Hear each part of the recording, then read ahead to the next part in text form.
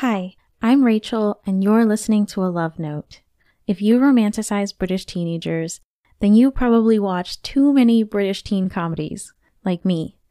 Either way, this story is for you. This is Use Me.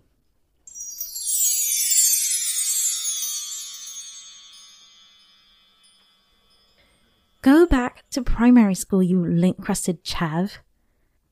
The schoolyard became as silent as a tomb waiting for a body to drop. What did you just call me? Tilda smirked. She had him right where she wanted him. Her two best mates, Tweedledee and Tweedledum, tittered at her side. The only fools brave enough to make a sound right now, confident that their fearless leader would protect them. You heard me, unless your ears are broke too. That got a round of oohs from their captive audience.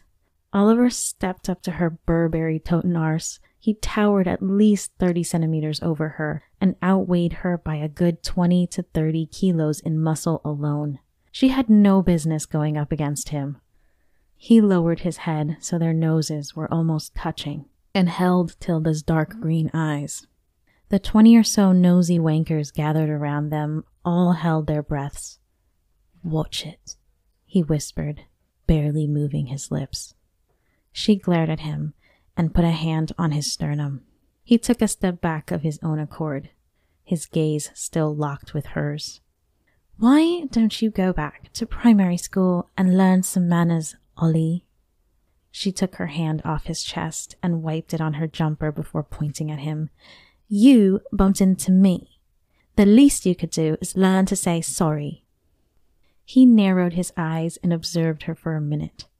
His dark expression matched his dark clothing and gothic chains. Her eyes shifted to the fresh skull tattoo on his neck as he clenched his jaw. She met his stare again, then raised a finely plucked brow. A silent battle of wills passed between them before Oliver reluctantly gave in. I'll get right on that, Tildy. He walked away. The silence broke when he was halfway across the yard a whole bunch of, oh my gods, and I can't believe she's still alive followed him out. Tilda's friends patted her on the back and reaffirmed their devotion to her before they parted ways to head home. Fifteen minutes later, she rounded a corner three blocks away from Ashburn College and snuck behind a Nando's skip. Oliver crushed his fag under a boot and held out his hand. She rolled her eyes and pulled a stack of quid from her bag. He pocketed it without counting and gave her a surly look. You better tone it down next time. No one's gonna believe I let you keep talking to me like that.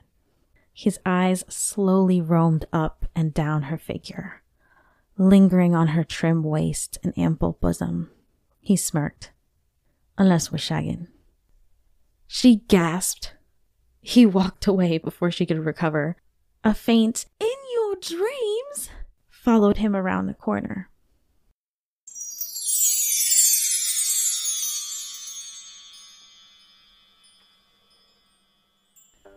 Thank you for listening to this love note.